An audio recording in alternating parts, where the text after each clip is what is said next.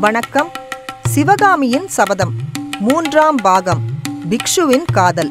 அத்தியாயம் ஐந்து. காஞ்சி ஒற்றன்.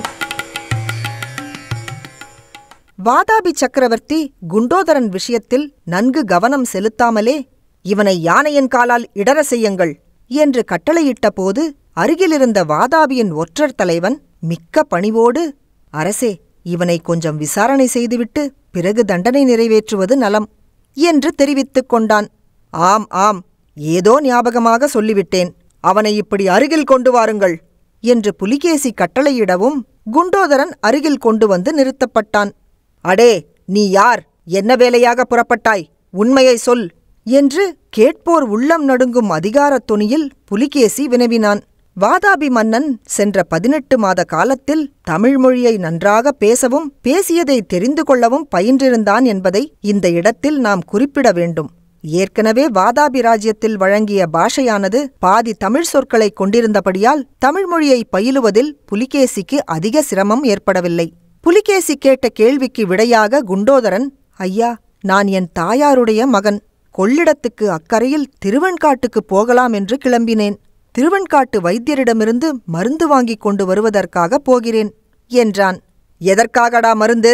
உனக்கு என்ன கேடு வந்து விட்டது என்று புலிகேசி கேட்டதும் குண்டோதரன் பயத்தினால் நடுங்கியவன் போல பாசாங்கு செய்து எனக்காக இல்லை ஐயா அம்மாவுக்கு மருந்து. என் தாயார் அவல் இடிக்கும்போது உரலை விழுங்கிவிட்டாள். அதற்காக என்றான். இந்த விடை அங்கிருந்தவர்கள் சிலருக்கு லேசான சிரிப்பை உண்டாக்கிற்று. புலிகேசியின் முகத்திலும் லேசான புன்னகை தோன்றியது.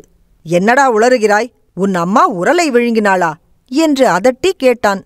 இல்லை உரலை விழுங்கவில்லை. உலக்கையைத்தான் விழுங்கினாள் என்றான் அதிக நடுக்கத்துடன் குண்டோதரன். உரலை விழுங்கினாளா? உலக்கையை விழுங்கினாளா? நிஜத்தை சொல் என்று கோபமான குரலில் கர்ஜித்தான் புலிகேசி. இல்லை இல்லை என் அம்மாவை உரல் விழுங்கிவிட்டது என்றான் குண்டோதரன். அடே என்னிடம் விளையாடுகிறாயா? உன்னை என்ன செய்வேன் தெரியுமா? ஐயா மன்னிக்க வேண்டும். உங்களையெல்லாம் பார்த்தால் எனக்கு மிகவும் பயமாக இருக்கிறது. அதனால் மனத்திலே ஒன்று இருக்க நாக்கு எதையோ சொல்கிறது. இப்போது பயமில்லாமல் நிதானமாக யோசித்து உள்ளதை உள்ளபடி சொல்லு. என் தாயார் அவல் இடித்தபோது உலக்கை தவறி கையில் விழுந்து விட்டது. அதனால் அம்மாவின் கையில் காயமாகிவிட்டது. காயத்துக்கு மருந்து வாங்குவதற்காக திருவெண்காட்டு நமச்சிவாய வைத்தியரிடம் போகிறேன். இவ்வளவுதானே வேறு ஒன்றுமில்லையே. சத்தியமாய் சொல் என்று புலிகேசி கர்ஜித்தான். ஆமையா சத்தியமாக சொல்கிறேன் உலக்கைக்குத்தான் காயம்பட்டது என்று குண்டோதரன் உளறினான். வாதாபி சக்கரவர்த்திக்கு திடீரென்று சிரிப்பு பீறிக்கொண்டு வந்தது.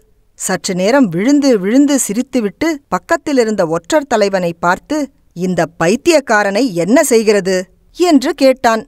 சக்கரவர்த்தி இவன் பைத்தியக்காரன் அல்ல காரிய பைத்தியமாக தோன்றுகிறது. மிக்க நெஞ்சழுத்தம் உள்ளவனாக காணுகிறான்.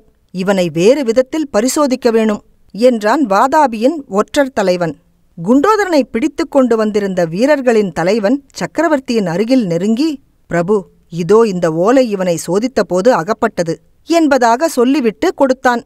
புலிகேசி அதை வாங்கி முன்போலவே அங்கிருந்த லிகிதனிடம் கொடுக்க அவன் ஓலையை படிக்கலானான்.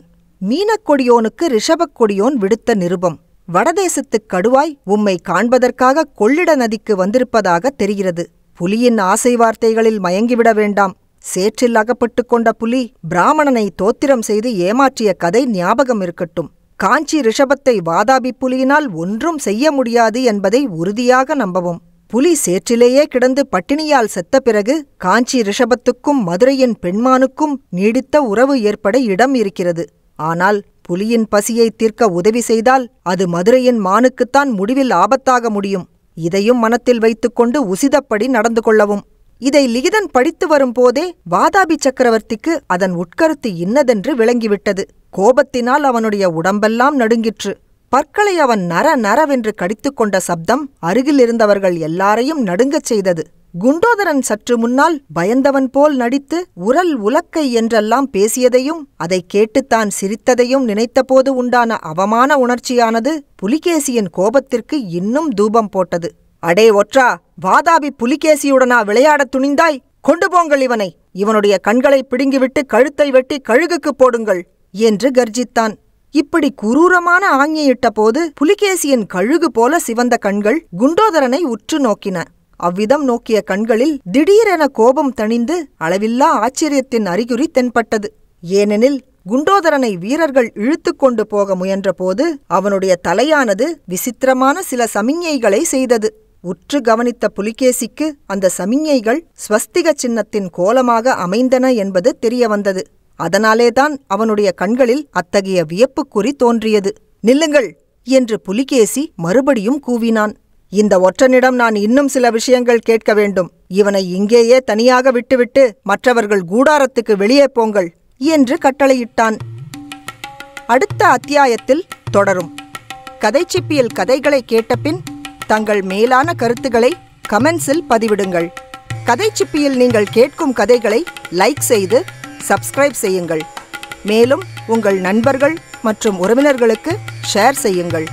கதை சிப்பியில் வெளியிடப்படும் பதிவுகளை உடனுக்குடன் தெரிந்து கொள்ள பெல் ஐக்கானை அழுத்துங்கள். நன்றி வணக்கம்.